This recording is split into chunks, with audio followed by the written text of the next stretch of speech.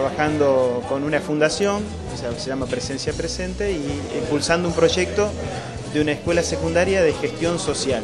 Es decir, ese es el, proyecto que estamos iniciando. Bueno, ya empezamos con las clases, tenemos un reconocimiento provisorio, o sea, decir, estamos esperando desde el Consejo de Educación que nos den el, reconocimiento definitivo, o sea, de lo pedagógico y bueno, sin duda también de lo presupuestario, de la, parte económica.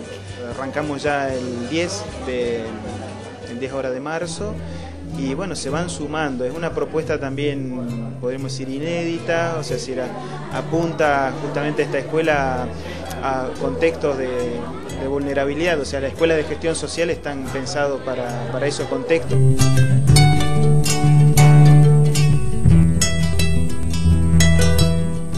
Para primer año de la secundaria, o sea, decir, que supone que los chicos hayan terminado la, primaria hay una gran variedad, porque justamente de eso se caracteriza la, Escuela de Gestión Social. Nosotros estamos recibiendo incluso chicos de 22 años, 17 años, de, los 12 hasta esa edad. Jóvenes, no, no es para adultos, o sea, ya adultos eh, para eso tienen las escuelas nocturnas, o sea, pero sería para esa franja de jóvenes y adolescentes que están en la calle, que han quedado, digamos, por, por alguna razón sin educación y por ahí se les ha complicado continuar su, su escuela secundaria, entonces bueno, esta propuesta apunta un poco a eso.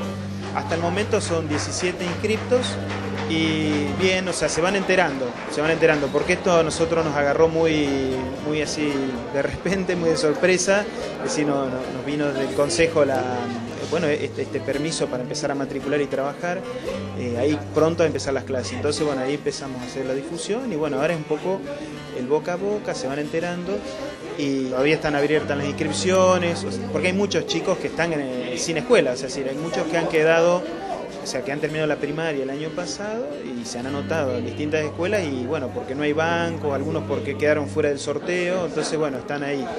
Después también hay chicos grandes que han abandonado la escuela, o sea, lo hicieron en algún, momento, en algún momento hicieron su primer año y bueno, por alguna razón, qué sé yo, acá es muy común que el, hijo, el chico mayor, el hijo mayor de la familia no siga los estudios porque tiene que cuidar a los más chicos. Entonces, bueno, de repente uno se encuentra con chicos de, 15 años, 17 años, que dice, bueno, yo no hice la escuela porque tuve que cuidar a mi hermanito, ahora estoy...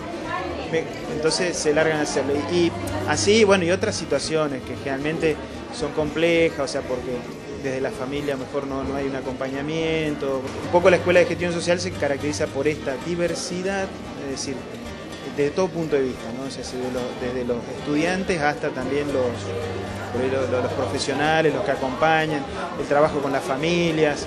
Es decir, bueno, es una, una propuesta nueva, es decir, un camino nuevo.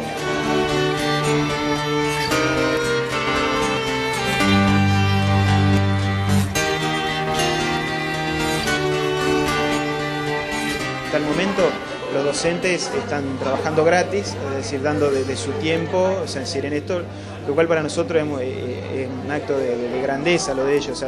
realmente ellos lo hacen porque esto lo ven como, muy importante, es, porque sí es una, una, cuestión de solidaridad. Para nosotros ha sido ya muy, muy gratificante el poder empezar, tener los chicos, ir haciendo el camino.